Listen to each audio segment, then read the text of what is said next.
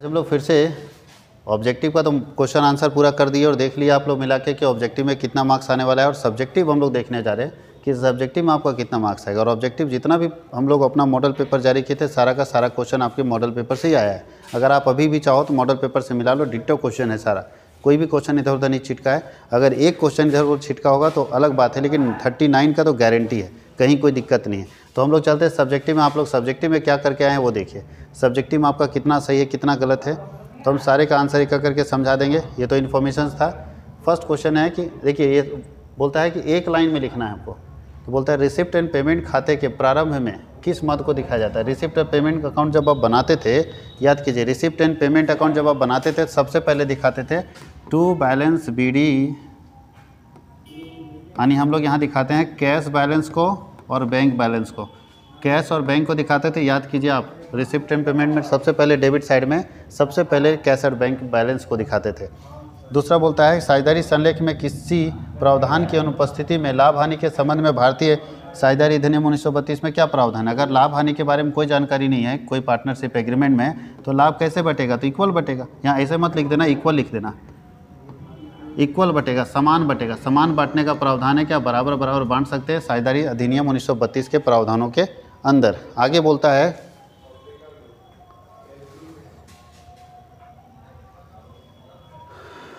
बोलता है does the retirement of a partner means reconstitution of firm क्या साझेदार के अवकाश ग्रहण करने का आशय फर्म के पुनर्गठन से? बिल्कुल यस अगर कोई पार्टनर रिटायर करता है तो फर्म का पुनर्गठन होगा। आगे क्या लिखा है कि when is partner educator account open बताइए पार्टनर एजुकेटर अकाउंट कब खोलेंगे? तो डेथ ऑफ़ अ पार्टनर में। अगर कोई पार्टनर मरेगा, तभी खोलेंगे। डेथ ऑफ़ अ पार्टनर अगर कोई पार्टनर मरेगा तो हम लोग एजुकेटर अकाउंट खोलेंगे। याद रखना है। और what is reserve capital reserve capital क्या होता है?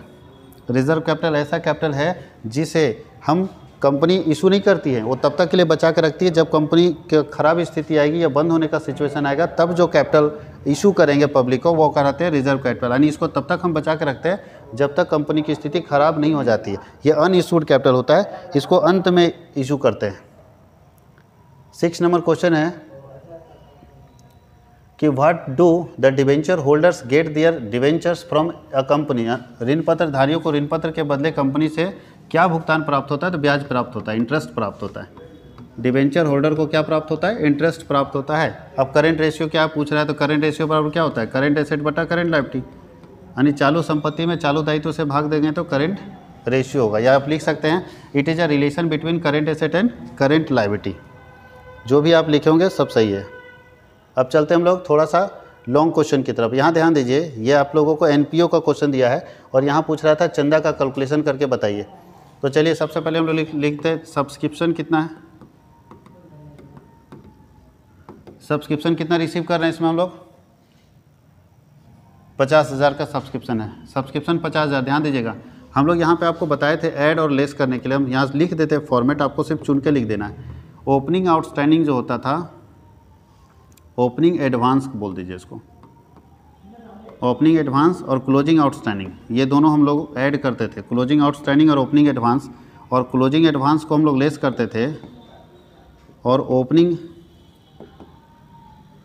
आउटस्टैंडिंग को हम लोग यहाँ माइनस करते थे, यहाँ माइनस का साइन दे दीजिए। ये दोनों लेस जाता था, आप ढूंढिए। आप बना कब कर रहे हैं आप बना रहे हैं 2022 का तो 2022 वाला आपका क्लोजिंग होगा और 2021 वाला ओपनिंग होगा, यहाँ पढ़िए। The amount of this subscription included three thousand receipt for year 2021 बताइए। आपके इस चंदे में पचास हज़ार में तीन हज़ार रुपये ऐसा शामिल है, दो हज़ार इक्कीस का आपको मिला है। इसका मतलब 2021 का अगर 2022 में मिला तो ये ओपनिंग आउटस्टैंडिंग था, और ओपनिंग आउटस्टैंडिंग को क्या करते हैं? माइनस करते हैं तो तीन हज़ार माइनस कर देंगे। आप 2022 का बना रहे हैं। 2022 का बना रहे हैं और 2021 का चंदा आपको मिलता है। इसका मतलब है कि 2021 का जो चंदा आपको 2022 में मिला है, ये मेरा ओपनिंग आउटस्टैंडिंग था, उसको माइनस कर दिया। आगे लिखा है 31 दिसंबर 2022 को there were rupees two thousand as outstanding closing में आउटस्टैंडिंग है, कितने का? तो 2000 का क्लोजिंग आउटस्टैंडिंग है। उसके आगे क्या लिखा है?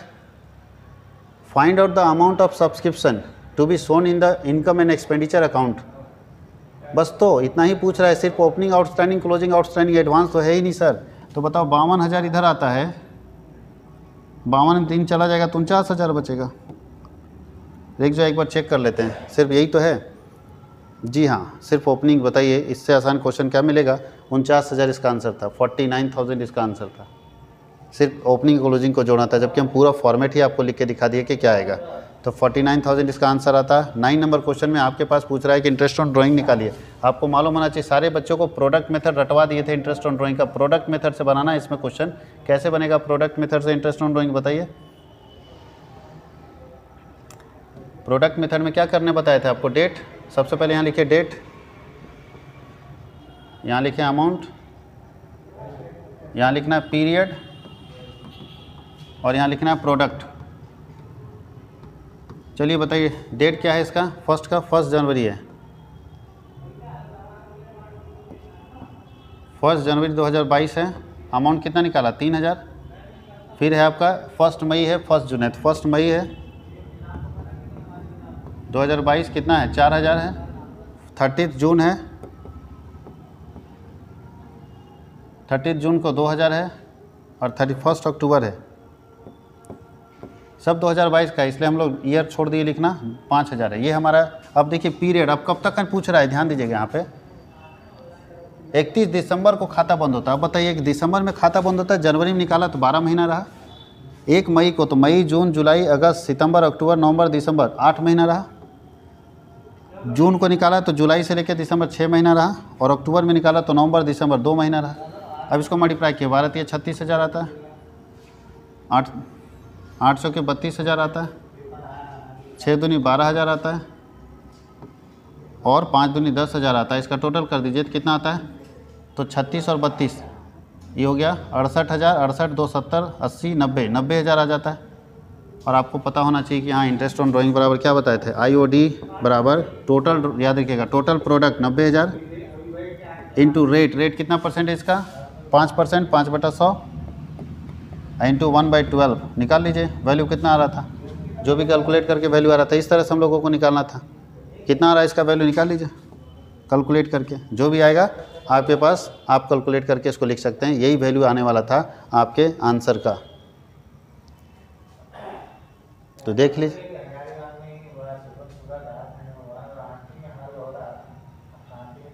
अब देखिए, अगला क्वेश्चन क्या बोल रहा है? के एक्स वाई पार्टनर है शेयरिंग प्रॉफिट दो अनुपात एक में बांटा है और उनका कैपिटल बीस हज़ार और पंद्रह हज़ार लगाते हैं। They admitted Z into partnership for one by third share मतलब दो पार्टनर है एक्स वाई वो लोग अपना पूंजी इतना लगा रखा है जेड आता है एक बटा तीन हिस्से के लिए। Whole of the share Z is sacrifice by X बोल रहा है कि जेड अपना सारा हिस्सा जो है जेड जो है अपना सारा हिस्सा किससे लेता है? एक्स से लेता है। तो और बोल रहा है कि for this Z brings ten thousand as capital and five thousand for goodwill in cash दस हज़ार कैपिटल का लाता है, पाँच हज़ार गुडविल का लाता है. The amount of goodwill is retained in the business goodwill का पैसा बिज़नेस में ही रहा जाता है. Pass necessary journal entries to record the above transaction बहुत ही आसान है. दो ट्रांजेक्शन रिकॉर्ड करना था. पहला लिखना था जो bank account debit to Z capital कितना? To premium for goodwill P PG कर देते. प्रीमियम फॉर गुडविल याद रखिएगा. तो बताइए कितना था इसका? दस हज़ार ये था और ये पाँच हज़ार था. तो टोटल मिला के पंद्रह हज़ार आ गया। और पहले से तो कुछ है नहीं बिज़नेस में। अब दूसरा एंट्री करना था कि प्रीमियम फॉर गुडविल जो है प्रीमियम फॉर गुडविल को सिर्फ़ एक्स को देना था, क्योंकि यहाँ साफ़ लिखा है सारा पैसा कौन किससे लेता है एक्स से। तो पाँच हज़ार देना था और पाँच हज़ार एक्स में देना था। इतना ही तो एंट्री करना था। Bank account debit to Z capital to premium for goodwill दूसरा एंट्री था premium for goodwill account debit to X क्योंकि सारा का सारा जेड जो है, सारा हिस्सा किससे सेक्रीफाइस कर रहा है? जेड को कौन दे रहा है सारा? एक्स दे रहा है तो गुडविल का सारा पैसा एक्स को मिल जाएगा। इतना ही तो छोटा एंट्री था। अब लोग चलते हैं क्वेश्चन नंबर इलेवन की तरफ़। अब इसमें फॉरफीचर से रिलेटेड जर्नल करना। आप समझिए, पहले क्वेश्चन को समझ लीजिए कि एक कंपनी 500 शेयर फॉरफिट करती है, एक शेयर दस रुपये का है। प्रीमियम में दो रुपया बेचा गया था। दस, ध्यान दीजिएगा, दस शेयर होल्डर्स जो है वो पे कर रहा है चार रुपये केवल, बस। और उसके, इसका अप्लीकेशन का, उसके बाद सर का फेल कर जा रहा है। और but didn't did not pay the amount allotment money four rupees including premium यानी प्रीमियम में भी ड्यू एरियर है और चार रुपया कॉल्स का नहीं मिला है। और इस शेयर को फिर से रीशू करें ग्यारह रुपये में। बस तो इतना ही तो जनरल करना है। चलिए देखिए, छोटा सा एंट्री करना है। फटाफट कर लेंगे हम लोग।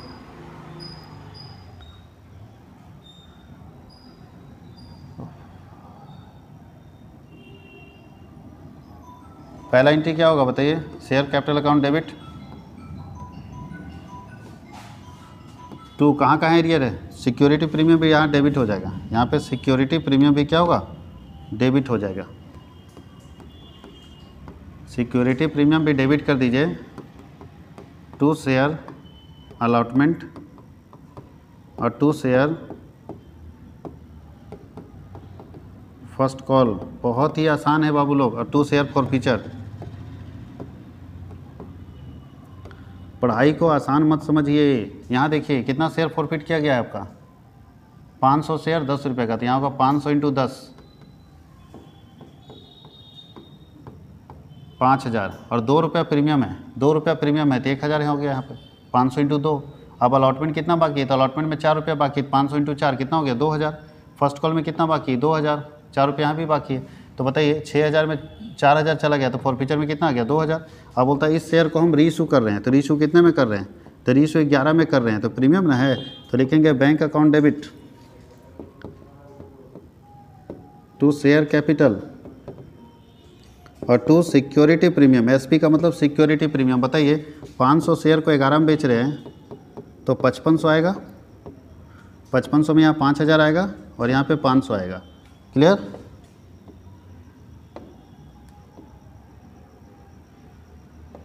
और तीसरा एंट्री जो होगा, वो लिखेंगे share forfeiture account debit share forfeiture account debit to capital reserve CR में जाएगा। पता बताइए फॉर फ्यूचर में कितना बैलेंस था? 2000 हज़ार। करते इसमें कोई नुकसान नहीं है तो 2000 कैपिटल रिज़र्व में हमारा चला जाएगा तो इसका कैपिटल रिज़र्व में 2000 जाएगा। यही तो एंट्री करना था इसमें।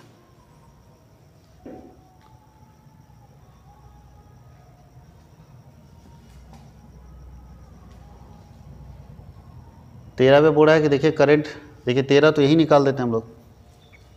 करंट रेशियो दिया वर्किंग कैपिटल दिया करंट एसेट और करंट लाइबिलिटी निकालना है। बताइए सी आर बराबर क्या होता था? अच्छा इसके ऊपर भी क्वेश्चन है। अच्छा ये शेयर और डिवेंचर में तीन अंतर पूछ रहा था, सबसे सिंपल था। शेयर होल्डर कंपनी का मालिक होता है, या शेयर अगर, से ध्यान दीजिएगा share share is a part of capital debenture is a part of loan share जो खरीदता है, ठीक है, वो शेयर होल्डर कहलाता है और डिवेंचर जो खरीदता है, वो डिवेंचर होल्डर कहलाता है। शेयर होल्डर कंपनी के मीटिंग में बैठ सकता है डिवेंचर होल्डर कंपनी के मीटिंग में नहीं बैठ सकता शेयर को डिविडेंड मिलता है डिवेंचर को इंटरेस्ट मिलता है। डिवेंचर का रेट ऑफ़ इंटरेस्ट फिक्स रहता है शेयर का रेट ऑफ़ डिविडेंड फिक्स नहीं रहता चलो, तीन अंतर हो गया। अब चलते आगे। अब हम बताते हैं इस क्वेश्चन को, क्या बताते वर्किंग कैपिटल दिया अब आपके पास, और वर्किंग कैपिटल के साथ साथ करेंट एसेट भी दिया हुआ करेंट रेशियो भी दिया हुआ देखिए, इस क्वेश्चन को हम लोग बनाते हैं। कैसे?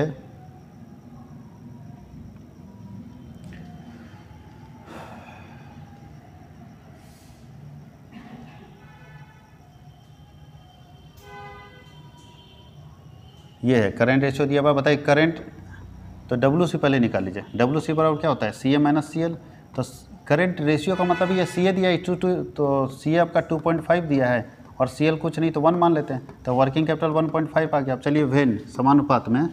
W C then current assets जब आपका वर्किंग कैपिटल 1.5 आया तो करेंट एसेट कितना था? 2.5 जब वर्किंग कैपिटल पैंतालीस हज़ार है तो इस हिसाब से हमारा करेंट एसेट व्हाट या एक्स तो एक्स इक्वल टू क्या आ जाएगा? क्रॉस कर देंगे। तो पैंतालीस हज़ार इंटू टू पॉइंट फाइव और बटा one point five two point five और बटा वन पॉइंट फाइव यानी अगर पॉइंट हटा दे तो पंद्रह तीय पैंतालीस। तीन हज़ार कटेगा और पच्चीस तीय पचहत्तर हज़ार हो जाएगा आपका करेंट एसेट और करेंट एसेट जब पचहत्तर हज़ार निकल गया तो करेंट लाइबिलिटी निकालना है। बताइए करेंट एसेट निकल गया पचहत्तर हज़ार। तो करेंट लाइबिलिटी बराबर क्या होता है? बोलता है C A minus W working capital W C तो पचहत्तर हज़ार माइनस वर्किंग कैपिटल पैंतालीस हज़ार है। इसका मतलब है कि तीस हज़ार हमारा करेंट लाइबिलिटी होगा। बताइए, कितना आसान था, कितना सारा क्वेश्चन ऐसा बताया गया है। प्रैक्टिस नहीं करोगे भैया। तो नहीं टिक पाओगे। बीएमटी में और ख़राब हो जाएगा अगर बच्चा प्रैक्टिस नहीं किया तो। रट्टा मार के थ्योरी मार सकते हो। न्यूमेरिकल नहीं। आगे बोलता है कैश फ्लो को कितने भाग में बांटा गया? ये अगर कोई नहीं पढ़े, बताओ तीन भाग में। पहला ऑपरेटिंग एक्टिविटी तीन ही ना पार्ट में हम लोग कैश फ्लो पढ़ते थे। ऑपरेटिंग एक्टिविटी दूसरा इन्वेस्टिंग एक्टिविटी और तीसरा फाइनेंसिंग एक्टिविटी फाइनेंसिंग एक्टिविटी तीन पार्ट में बांटा गया है कैश फ्लो स्टेटमेंट को operating investing and financing activity अब देखो, यहाँ बोल रहा है कि इससे इनकम एक्सपेंडिचर बना के दिखाओ। इनकम एक्सपेंडिचर बना के देखो, हम यहाँ लिख देते हैं क्या क्या जाएगा, ध्यान दीजिएगा, आप इनकम एक्सपेंडिचर अपने बना लो। इनकम एक्सपेंडिचर में क्या लिखते थे? एक साइड इनकम लिखते थे, एक साइड एक्सपेंडिचर लिखते थे। कौन कौन जाता था? तो इनकम एक्सपेंडिचर में केवल करंट ईयर का जाता था, केवल करंट ईयर का जाता था, याद रखिएगा। तो हम लोग एक साइड इनकम यहाँ देखो ये लिख देते हैं। इस साइड इनकम एक्सपेंडिचर में हम लोग इधर लिखते थे एक्सपेंडिचर और इधर लिखते थे इनकम याद रखिएगा। हम यहाँ आई और ई कर देते हैं, ठीक है? सैलरी आउटस्टैंडिंग इनकम एक्सपेंडिचर है, ध्यान दीजिएगा। तो सैलरी में जोड़ेंगे तो सबसे पहले बोलता है, सैलरी पेड कर रहे हैं। पहले फ़ी रिसीव किए, कितना? एक लाख, उसमें तीस हज़ार पिछले साल का था, हटा देंगे। तो मेरा इनकम हो जाएगा एक लाख की जगह फ़ी रिसीव सत्तर हज़ार लिखेंगे। अच्छा चलो पूरा बना के दिखा देते हैं।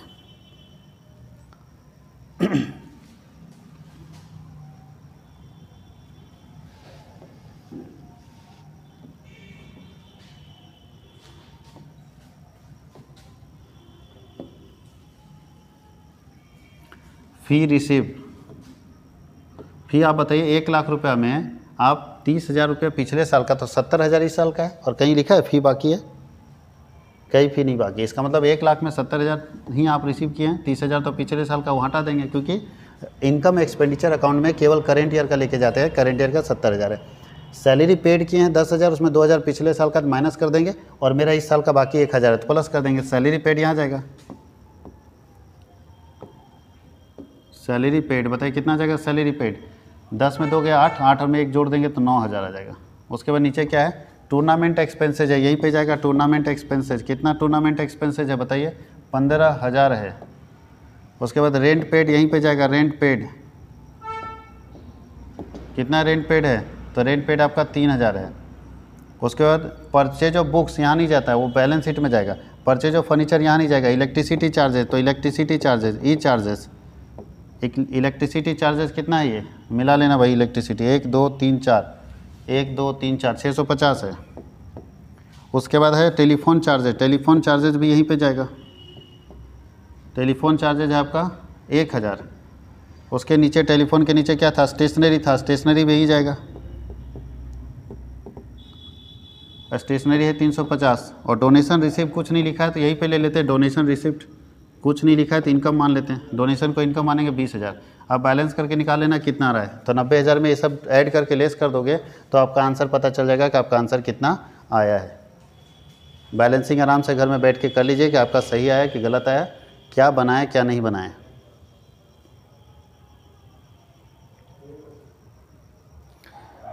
बी का सब्जेक्टिव वीडियो ध्यान दीजिएगा बीएमटी का सब्जेक्टिव वीडियो कल आपके पास पहुँच जाएगा, किसी हालत में। और आप उसको करेंगे कंप्लीट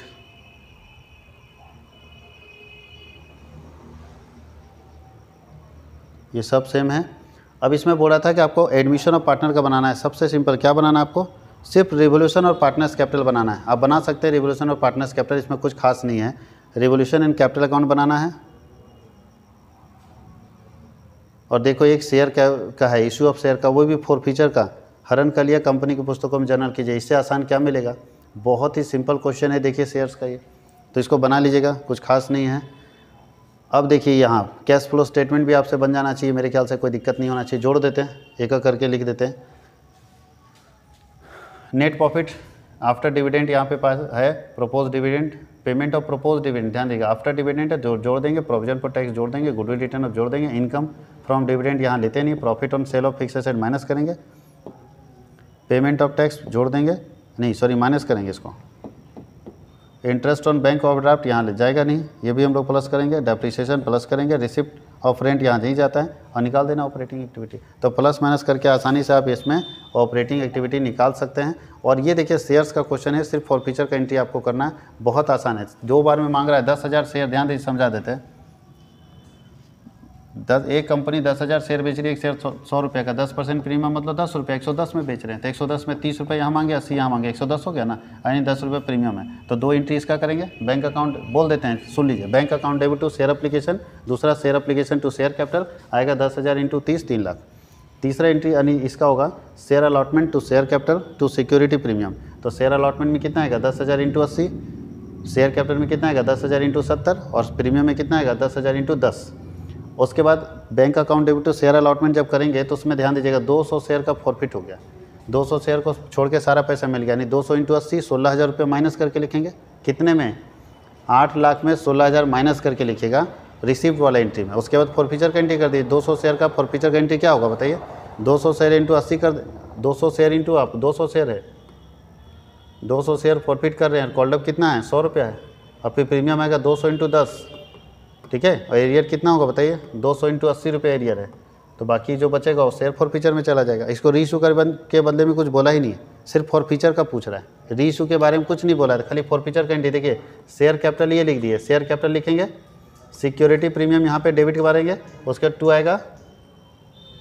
टू शेयर अलॉटमेंट और उसके बाद यहाँ आएगा टू शेयर फॉर फीचर तो फॉर फीचर में निकाल लेना इसको एडलेस करके। कितना आता है? तो इस तरह से सारा क्वेश्चन बन जाएगा बालक लोग। और आसानी से बना सकते थे आप लोग। चलिए देख लीजिए कितना मार्क्स आपका आएगा। इसको एनालिसिस कर लीजिए। अभी हम लोग जल्द ही बीएमटी का आपको सब्जेक्टिव वीडियो जल्दी भेजने वाले हैं। उसको ज़रूर पढ़िएगा, अच्छे से देखिएगा। धन्यवाद।